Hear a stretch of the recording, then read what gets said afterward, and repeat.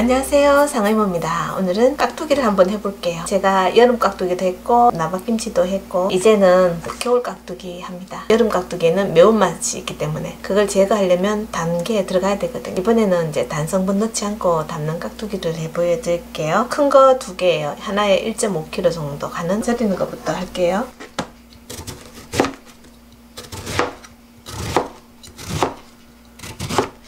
크기는 원하시는 대로 자르시면 될 것 같아요. 좀 크기도 하고.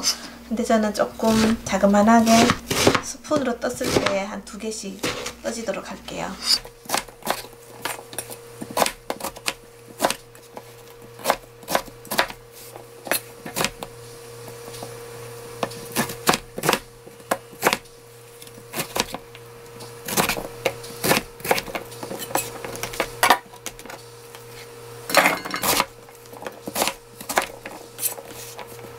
봄에 나오는 월동무까지 달고 맛있거든요. 그거까지 이렇게 요 깍두기로 겨울 깍두기로 해서 드시면 돼요. 한겨울에는 그냥 이렇게 담으시면 돼요.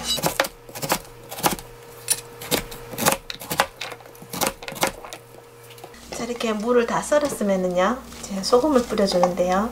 소금은 자 이걸 소주잔으로 기준 했을 때 보여드릴게요. 자이 정도 한 줌, 두 줌 넣고요. 이게 무가 물기가 있기 때문에 이렇게 섞어놔도 금방 물이 나오거든요. 금방 물이 나서 이게 잘 절여져요. 이렇게 한 다음에요. 자, 이렇게 자, 한 줌을요 더 넣고 위에다 뿌려줍니다. 이렇게 되면 이렇게 잡았을 때요.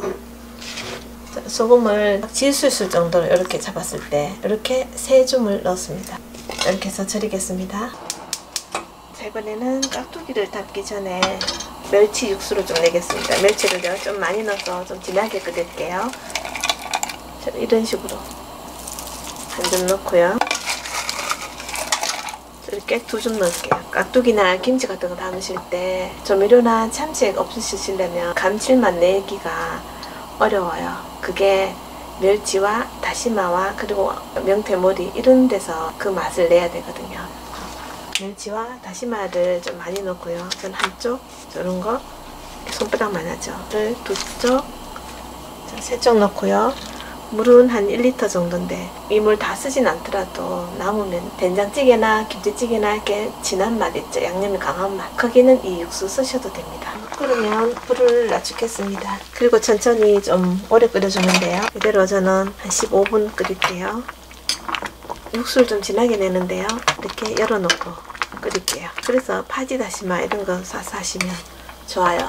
많이 넣어도 안 아깝거든요. 낮은 불에서 한 15분 끓였거든요. 물이 많이 줄었습니다. 이거를 건져내고요.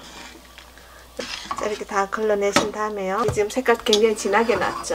또 쓰시면 될 것 같아요. 많으니까 좀 부어 놓을게요.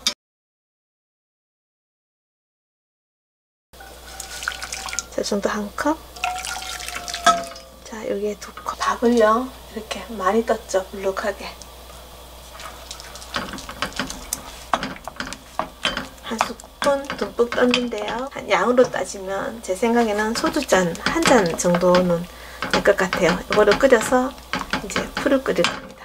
끓었습니다. 부글부글 그러면 불을 꺼놓습니다. 그리고 이렇게 뚜껑을 덮어 놓습니다. 다 식으면서 밥알이 툭 불어 있거든요. 그거를 이제 풀로 쓰시면 돼요. 지금 이제 한 2시간 됐거든요. 근데 제가 중간에 한번 뒤집어 줬습니다.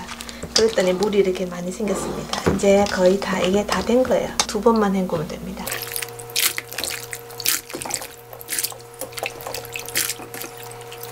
밥알이 다 퍼졌습니다. 이거를 갈아서 양념할게요. 멸치 육수 자, 진한 거죠? 한컵 더 붓습니다. 대파 한 반 뿌리 넣어주고요. 새우젓도 같이 어차피 갈 때 같이 넣어서 가를게요. 두 스푼, 세 스푼 이렇게 해서 이 정도로 해서요. 네 스푼 정도 넣어줄게요. 자 이제 믹서기에 넣고 갈겠습니다.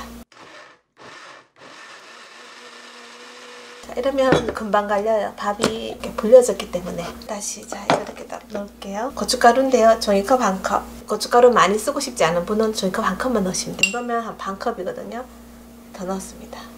또 마늘도 종이컵 한 컵이거든요. 마늘 다진 것 한컵 하고요. 멸치 액젓을 소주잔 하나입니다. 그리고 이제 생강 넣고 싶으신 분들은 조금만 넣으세요. 저는 여기 생강청이 있어서 일부러 생강 안 샀거든요. 생강청 여기 한 스푼입니다. 한 스푼만 넣으면 생강잼도 괜찮고 뭐든 있으면 좋습니다. 조금만 넣으시면 되고요. 또 생강 없으시면 안 들어가도 돼요. 평상시 생강 안 넣고 잘 담아 먹거든요. 마늘은 늘 집에 있지만 생강은 집에 늘 없잖아요. 그래서 생강 없으면 깍두기, 김치, 생강 잘 안 넣어요. 그냥도 잘 먹습니다.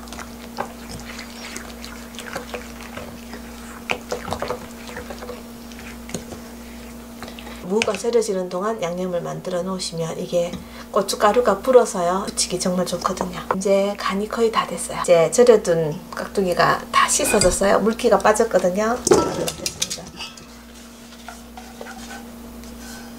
이렇게 섞어주시면 되는데요. 자르면 금방 다 됐죠? 이렇게 해서 통에 담아 놓고 이제 익혀 드시면 돼요. 이게 양념이 지금 좀 짭짤하거든요. 근데 무가 안 짜기 때문에 국물이 생기면서 섞여서 맛이 어우러지면서 익혀지면서 맛드는 거예요. 그래서 간이 맞아지거든요. 이게 싱거우면 안 되니까 김치가 그래서 어려운 겁니다. 싱거우면 맛이 이상해지고 적당히 간이 맞아야 되거든요. 한번 담아보겠습니다. 저처럼 이렇게 놔둬도 시원하게 잘 익습니다. 다시 말씀드리지만 요거는 단맛이 나는 겨울 무만 가능하고요. 매운맛이 나는 여름 무는 여기다가 삼성당 쓰셔야 돼요. 상의무 여름 깍두기 편을 보시고 이렇게 하시면 돼요.